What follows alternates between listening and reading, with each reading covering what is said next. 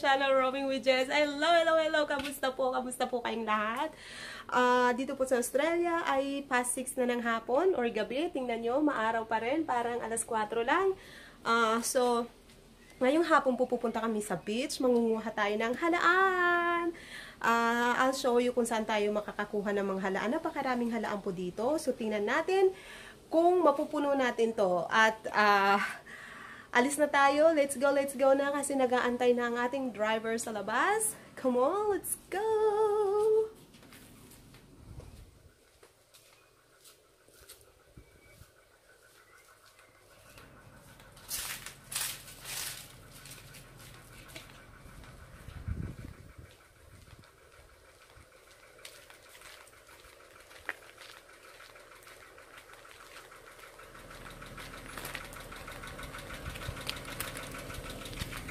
Yan, tingnan natin kung mapupuno natin tong tabo.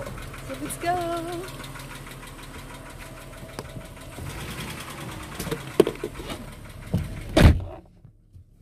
Say hi! Hola! Ayan, malapit lang naman po dito yung uh, beach. Sa kabilang kalsada na to, uh, beach na yan. So, hahanap lang tayo ng uh, pwesto na pagkukuhaan ng halaan. So, malapit na tayo. Wala pa siguro 5 minutes tong pupuntahan natin mula sa bahay.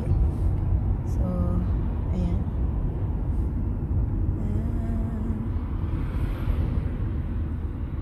We are here at Keppel Sound for Shore. Ayan, na tayo. Tingnan natin kung low tide. Malawak ang low tide kasi mas maganda kapag malawak ang low tide. Ah... Maraming makukuhang halaan pag malawak ang low tide. So, ayan. So, ayan na tayo. Baba na tayo. Huwag kalimutan ang tabo. Lalagyan natin ng halaan.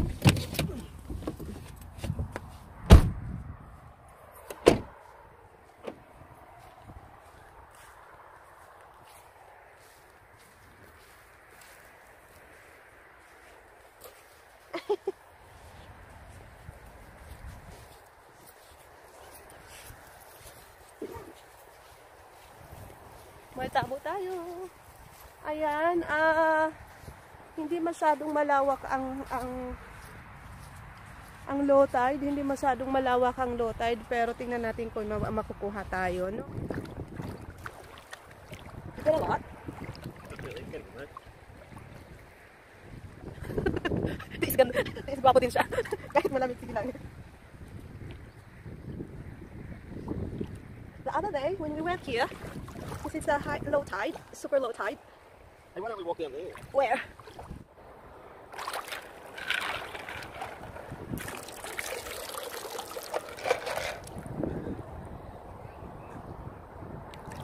It's so small.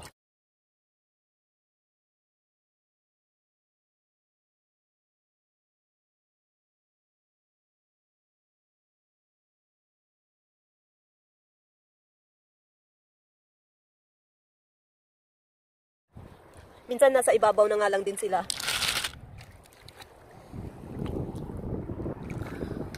Maliit pa masyado.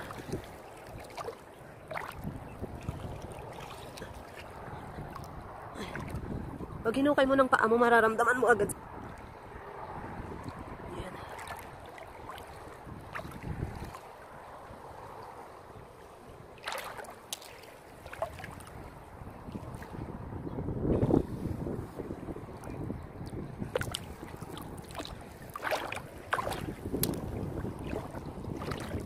Lumutang na. Saan na papunta to?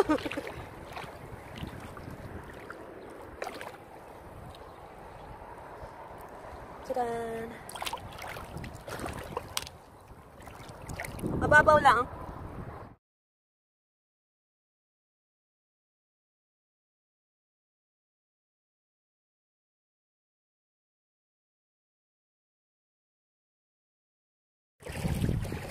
Ayan na po yung nakuha namin, oh.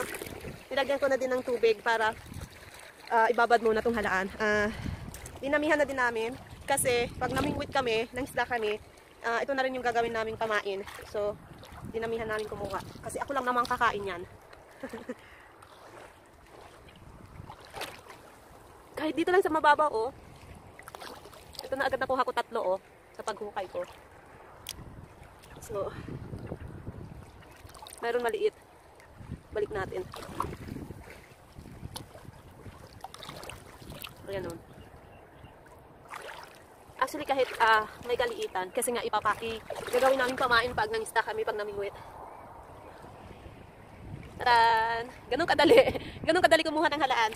Tingnan nyo naman yung tubig hanggang ano lang, hanggang sa lagpas lang sa aking sakong. Yan.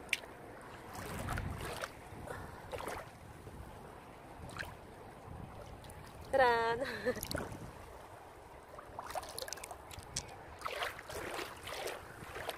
Ayan, halos puno na ang aming tabo.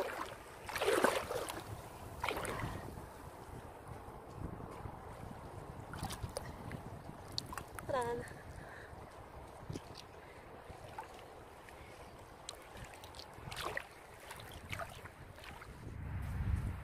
Ito po, isang tabo ang nakuha namin. May pang-ulam na ako. Pero ibababad ko muna to ng mga 2 days. Ayan. Niiwanan na ako ng aking driver. Sinalas ko. Hang on. Yep. Yan, pauwi na po kami. Nabasa ang aking damit. Pero sulit. May pang-ulam na ako. yung pipiliin ko po yung mga halaan, ah, yung medyo maliliit, ah, gagawin naming pamain pag namingwit kami. So, thank you for watching. Ayan guys, yan na yung halaan na nakuha ko doon sa dagat. Pumili lang ako ng medyo malalaki-laki na at saka yung iba, iniwan ko kay Bruce para pamain namin sa pamimingwit. At simpleng luto lang ang gagawin natin dito. Igigisa lang natin. Kailangan ko natin ng maraming luya, bawang, sibuyas, kamatis. At kapag luto na ang ating ginisang halaan, ilagay natin ang coriander. So, yan lang ang kailangan natin. Pero, syempre, kailangan natin ng mantika. So, let's cook this, guys! Ayan, uh, kakailanganin ko rin pala ng oyster sauce, pamintang durog, syempre mantika, at itong aking uh, Maggi, Maggi Original Season. Ayan talagang panimpla ko dito dahil wala akong nor cubes na mabili. At konting toyo at syempre asin. So, uh, oysters is optional. Depende yan kung ayaw nyong lagyan ng oyster.